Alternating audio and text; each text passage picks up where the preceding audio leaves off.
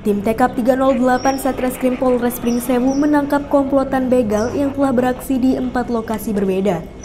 Empat orang berhasil diamankan polisi terdiri dari dua orang pelaku begal yakni Purwanto dan Ahmad Ferry. Sedangkan dua lainnya adalah penada hasil kejahatan yaitu Budi Santoso dan Zainuri. Kasat Reskrim AKP Sahril Paison mengungkapkan dari keempat pelaku, tiga di antaranya merupakan residivis yang sudah pernah dipenjara. Penangkapan para pelaku dilakukan dalam waktu singkat.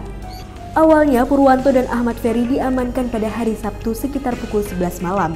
Selanjutnya, Budi Santoso diamankan pukul 12 malam dan pelaku Zainuri diamankan sekitar pukul 2 dini hari. Dari hasil penyelidikan, ternyata kedua pelaku ini sebelumnya sudah melakukan aksinya di tiga tempat lainnya di wilayah Pringsewu, yakni di Jalan Raya Pekon Tanjung Anom, Jalan Raya Pekon Bumi Arum, dan di Jalan Raya Pekon Margodadi. Komplotan begal ini biasanya menyasar korban pedagang yang sedang dalam perjalanan. Di tengah perjalanan, korban dipepet dan ditodong dengan menggunakan senjata tajam jenis golok dan pisau. Kemudian, pelaku mengambil paksa barang-barang milik korban. Dari penangkapan ini, polisi juga mengamankan sejumlah barang bukti. Di antaranya satu unit sepeda motor Honda Beat yang diduga hasil kejahatan, satu bilah golok, satu bilah pisau, dan satu buah jaket. Selanjutnya, pelaku Purwanto dan Ahmad Ferry terancam hukuman maksimal 9 tahun penjara. Sedangkan pelaku Budi Santoso dan Zainuri terancam hukuman maksimal 4 tahun penjara.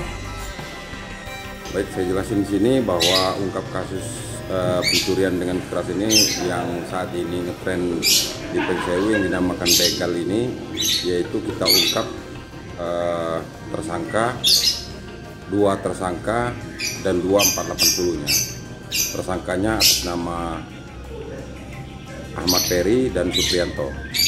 Sedangkan untuk 480-nya Budi dan Januri. Tersangka sendiri alamatnya dari mana, Bang? Tersangka sendiri alamatnya yang satu Suprianto di Tanjung Bintang, untuk si Peri di Gunungan Nyawa. Terus untuk untuk tersangka sendiri uh, di Pringse udah berapa TKP yang dilakukannya, Bang? Sementara ini yang kita dapatkan untuk LP-nya ada 4, 4 TKP. Yang mana ini korban ini eh, ibu-ibu uh, yang mau pasar dua orang dan uh, bapak-bapak juga dua, dua orang.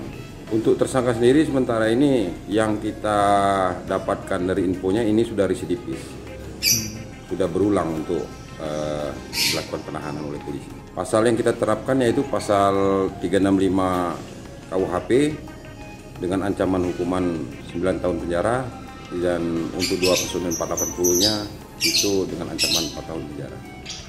Kamu siapa? Perantauan. Purwanto. Kamu sudah berapa kali melakukan pencurian di wilayah Pringsewu ini? Empat kali. Empat kali. Sakti. Negeri Sakti. Apa aja barang yang berhasil kamu ambil? Yang kamu begal? Motor. Terus? HP. Terus? Duit. Duit. Terus uangnya hasil dari pencurian digunain buat apa? Sehari-hari lah. Sehari-hari apa? Ya, buat kondangan, buat makan. Pakai apa? Ngancemnya pakai apa? Atau apa? Pakai golok. Waktu kejadian sama siapa bapak? Sama Peri lah. Sama Peri. Nah Peri ngancemnya pakai apa? Golok. Golok apa pisau? Golok. Yang pisau siapa yang mbak pisau? Saya pak. Oh yang mbak pisau bapak. Jadi kalau hasil dari pencurian kayak motor itu kamu jual ke siapa? Ke Budi pak. Ke Budi. Budi rumahnya di mana? Di Jamal Jiwa. Berapa biasanya kamu jual motor itu? Kita 800 pak.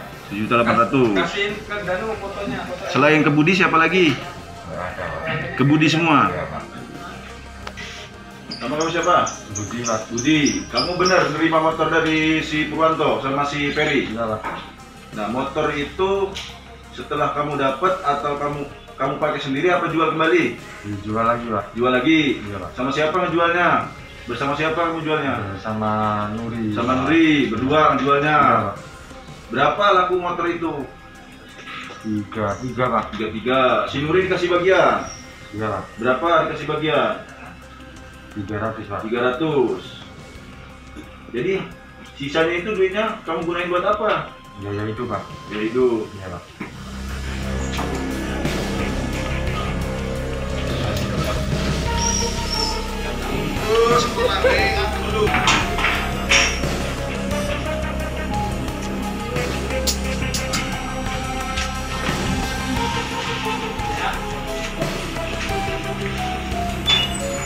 Dari Pringsewu, Rivaldi, Kupas TV melaporkan. Ya, 1.500 ya.